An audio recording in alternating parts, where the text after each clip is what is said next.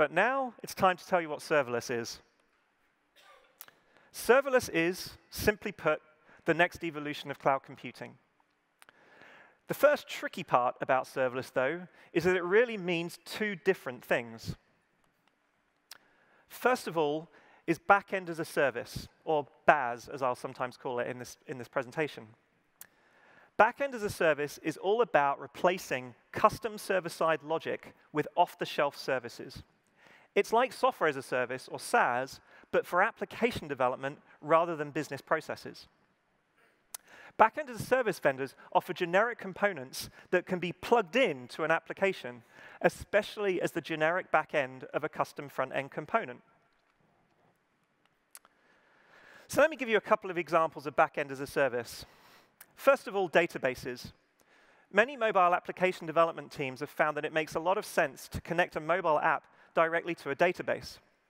A BaaS database is a vendor-hosted database that removes much administration overhead and provides authorization for different types of users and other useful features.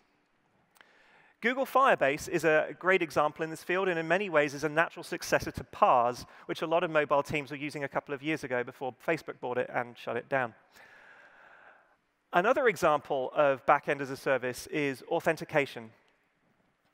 Many applications code their own authentication functionality. So sign up, login, password management, integration with other authentication providers, that kind of thing.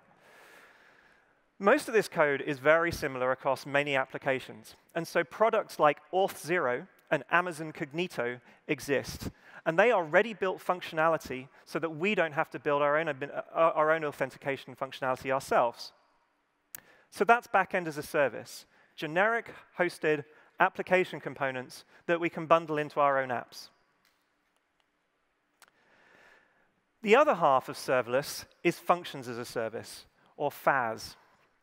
FaaS is a new way of deploying server-side software oriented around deploying individual functions or operations.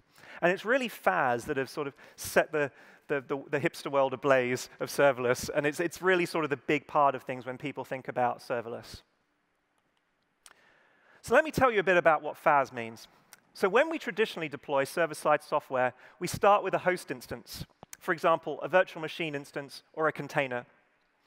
We then deploy our application within the host. This application is an operating system process and usually contains code for several different operations. FaaS, functions as a service, changes this type of deployment.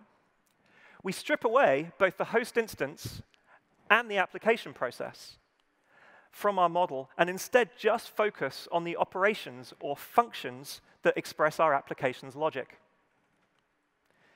Instead of a host, we have the concept of a vendor FaaS platform. And we deploy these functions to the FaaS platform as very basic code units. Think a jar for JVM or just plain source code for JavaScript. These individual functions, though, are not constantly active in a server process sitting idle until they need to be run, as they would be in a traditional app.